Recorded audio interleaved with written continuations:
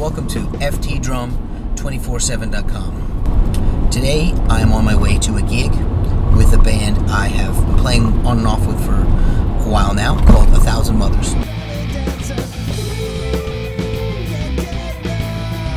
It's an original rock band with some friends of mine from uh, New Jersey and Brooklyn. And we've all played in different bands together and with other people. So when we got to this band, uh, we just started writing songs. We all have ideas. But this is our first gig. Tonight, it's August 16th, 2014, and we are playing at a venue in Queens called Blackthorn 51.